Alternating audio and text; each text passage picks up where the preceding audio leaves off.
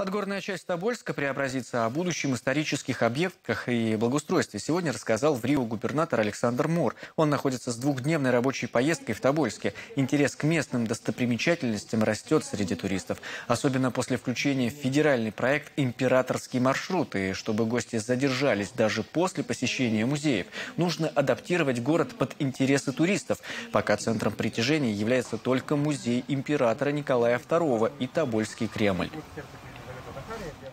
Подгорная часть э, города Тобольска, на самом деле, историческое место, э, в которое еще, конечно, нужно много вложить для благоустройства.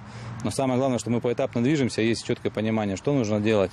Александровский сад, который находится рядом с этим музеем, тоже, наверное, должен быть э, приведен в порядок и выстроен в логике развития этого исторического места. Также в планах у Александра Мура сегодня посетить объекты здравоохранения, новые микрорайоны Тобольска и встретиться с молодежью.